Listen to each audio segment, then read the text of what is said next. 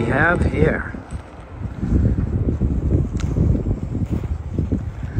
It's right next to the JFK Library in Boston. Let's take a closer look.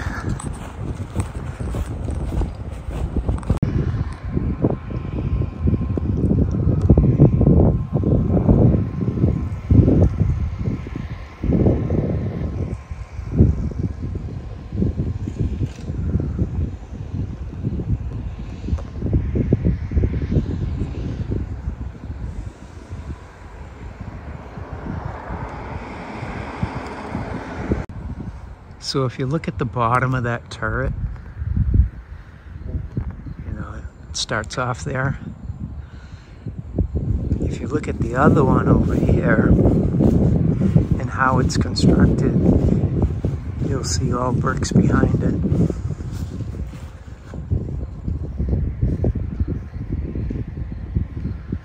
So this thing has definitely got a lot of brick in it. Could be bricks all the way up.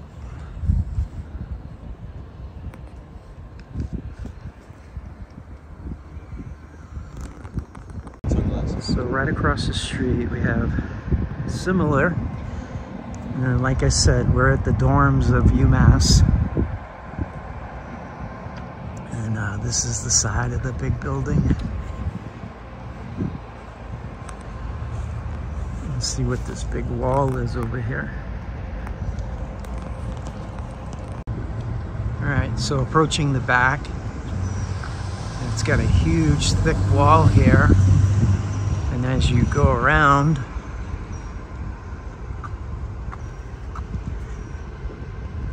you can see the brick interior.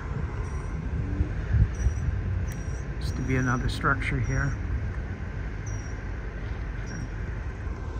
Yeah. I don't know. Just thought it was interesting in the middle of UMass and the JFK Library less than a quarter mile away. So there's that brick again. And if we look up at this huge archway here,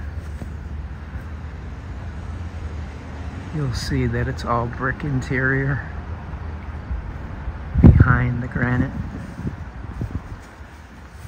Double clad brick and granite. I wonder if this is the calf pasture pumping station. BIS, okay. I have to figure out what that is. I have no idea.